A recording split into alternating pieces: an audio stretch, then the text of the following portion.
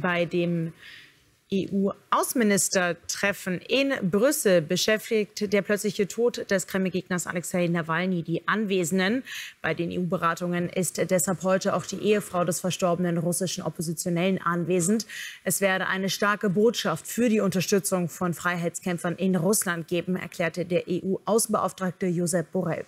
Julia Nawalnya hatte sich bereits kurz nach dem Tod ihres Mannes auf der Münchner Sicherheitskonferenz mit deutlichen Worten an die Öffentlichkeit gewandt, hat es seitdem auch immer wieder getan. Und die Bundesregierung, sie hat zudem nun den russischen Botschafter in Berlin einbestellt.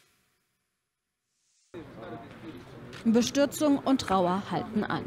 Auch drei Tage nach Bekanntgabe des Todes von Alexei Nawalny gehen weltweit Menschen auf die Straßen, zeigen so ihre Solidarität mit dem Kreml-Kritiker. In Berlin kommt es gleich zu mehreren Protestaktionen. Bei einer wollen auch Mitglieder der Gruppe Pussy Riot ein Zeichen setzen, halten Banner in die Höhe, auf denen in englischer und russischer Sprache Mörder steht. Nawalny was my friend. Nawalny war mein Freund, aber mehr als mein Freund war er ein Hoffnungsträger für viele Russen, für Millionen von Russen, die mit Putin nicht einverstanden sind, aber keine Stimme haben.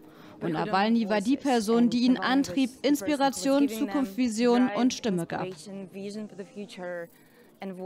Sogar in Russland gedenken Menschen Nawalny. Laut der Bürgerrechtsplattform OVD gab es bereits 366 Festnahmen in fast 40 Städten. Trotzdem hören viele nicht auf, in Gedenken an den 47-Jährigen Blumen niederzulegen. Eine Petition, die die Herausgabe der Leiche fordert, erhält innerhalb weniger Stunden 12.000 Unterschriften. Noch immer ist die genaue Todesursache des Oppositionspolitikers unklar. Doch nicht nur der gesellschaftliche, auch der politische Druck auf Russland wächst. Estlands Ministerpräsidentin Kallas fordert auch über unkonventionelle Maßnahmen nachzudenken und beispielsweise die eingefrorenen Gelder Russlands der Ukraine zu geben, um sie damit für die Zerstörung des Angriffskriegs zu entschädigen.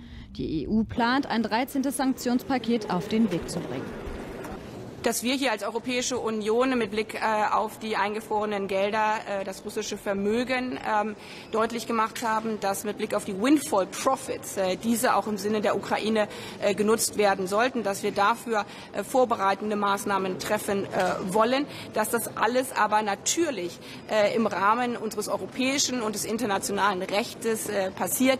Heute beraten die EU-Außenminister in Brüssel über neue Sanktionen gegen Russland. Zu dem Treffen wird auch die Witwe Nawalnys Julia Nawalnaja erwartet. Sie hat sich jetzt schon einmal wieder geäußert, und zwar in einem neuen Videoclip. Ruft sie dafür auf, dass man den Kampf ihres Mannes fortführt und die Hoffnung gleichzeitig nicht aufgibt auf ein freies Russland. Ich bin zum ersten Mal in diesem Kanal und ich hätte eigentlich hier nicht sein sollen unter diesem Kanal. An meiner Stelle hätte ein anderer Mensch stehen sollen. Diesen Menschen hat aber Wladimir Putin umgebracht. Vor drei Tagen hat Wladimir Putin meinen Mann, Alexei Nawalny, umgebracht.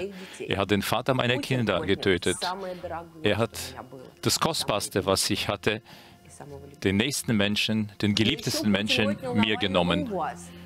Aber dort in diesem Lager hinter dem Polarkreis, in dem ewigen Winter, hat Putin nicht nur den Menschen Nawalny umgebracht. Mit ihm zusammen wollte unsere Hoffnungen umbringen, unsere Freiheit. Wenn ihr mehr News aus unserem Team wollt, dann müsst ihr einmal hier klicken. Wenn ihr auf der Suche seid nach spannenden Dokus, starken Reportagen, dann geht's hier entlang. Und wenn ihr Welt abonnieren wollt, neu entdecken wollt, dann einmal hier klicken.